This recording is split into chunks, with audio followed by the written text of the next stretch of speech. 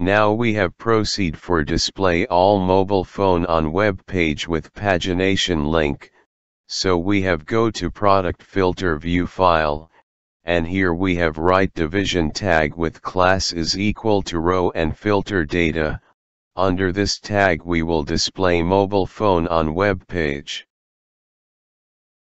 For display pagination link, here we have define one more division tag, with attribute ID is equal to pagination link, under this we will display pagination link, which will be made by using CodeIgniter pagination library. Now we have go to jQuery code, and here we have make one filter data function with page as argument, this function will fetch data from product table with filter, and display on web page. Under this function first we have write dollar with division tag class filter data with HTML method, and under this we have write division tag with id is equal to loading. So when this function has been called then it will first display this tag, and here we can see property of this tag like text align set to center, in background we have display loader image, and height set to 150 pixel.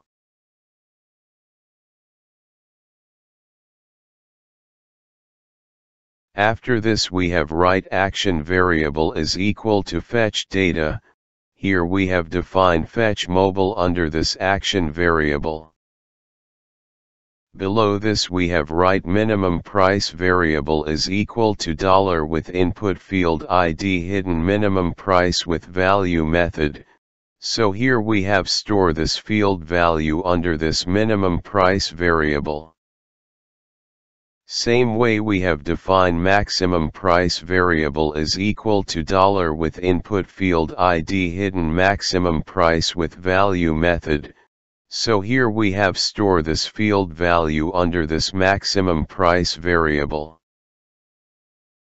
Now we have write brand variable is equal to get filter function with brand class name, this function will return checkbox value of all selected brand, which we have store under this brand variable. First we have create get filter function with class name argument, here in class name argument we will pass checkbox class like brand, RAM, or storage. Under this function we have write filter variable is equal to array, under this variable we will store value of selected checkbox.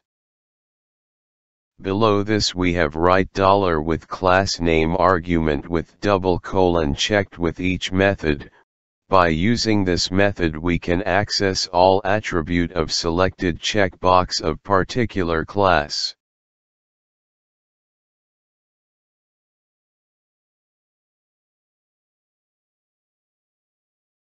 Under this function we have write filter variable dot push method, and under this method we have write dollar this with value method. Here by using value method we have fetch value of selected checkbox, and store under filter variable in array format. Lastly we have write return statement with filter variable, this is the output of this function. Now we have go to filter data function, and here we have write RAM variable is equal to get filter function with RAM class, here we have store selected RAM data under this RAM variable. Same way below this we have write storage variable is equal to get filter function with storage class name, here we have store selected checkbox value of storage filter which have store under storage variable. Now we have moved to write Ajax request, and here we have write first option like URL option set to base URL function, with product filter controller slash fetch data method slash page argument.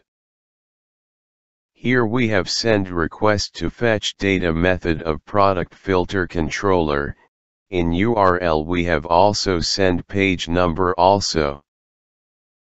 In second option we have write method which has set to post, here we have use post method for send data to PHP script. In third operation we have write data type, here we can define in which data format, we have to receive data from server, so here we have defined data type. In fourth option we have write data, and in this option we can define which data we want send to server, so here we have write action, minimum price, maximum price, brand, RAM, and storage variable value to server. Lastly we have write success callback function, this function has been called if AJAX request completed successfully, and it will receive data from server. Under this function we have write dollar with division tag class filter data with HTML method, under this we have write with data.product list, this code will display mobile data on web page. For display pagination link, here we have write dollar with division tag ID pagination link with HTML method. Under this method we have write data.pagination link, it will display pagination link. Now we have go to product filter controller, and here we have write make fetch data function, this function will receive AJAX request for fetch data. Under this function we have first write dollar minimum price variable is equal to dollar this with input object with post method.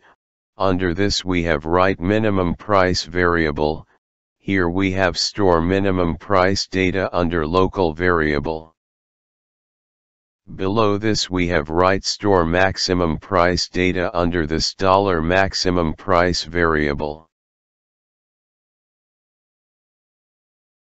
Brand data under dollar $brand variable, RAM data under dollar $RAM variable, and storage data under this dollar $storage variable. After this we want to load pagination library under this function, so we have write dollar $this with loader class object load with library method, under this method we have write pagination, it will load pagination library under this function. Now we have write dollar $config variable is equal array. In this variable we will define configuration for pagination library. In pagination library first we want to define base URL, so we have write $config base URL variable is equal to hashtag. This is the full URL to the controller class or function containing your pagination. Second we want to define total rows, which is number that represents total rows in the result set you are creating pagination for. So here we have write dollar $config total rows variable is equal to dollar $this with product filter model with count all function with argument like dollar minimum price variable, dollar maximum price variable, dollar brand variable, RAM variable, and storage variable, this method return number of total rows in result. Now in next part we will see how pagination library has been configured, and how to make select filter query function at product filter model. If you have any query or input regarding this video tutorial, please comment your query or input in comment box or if you like this video tutorial please share with your friends or even you can also share on social media also. If you want to get more update regarding our video tutorial, Please subscribe our YouTube channel for get more update regarding release of future video. Lastly keep watching our YouTube channel. Thanks for watching this video tutorial.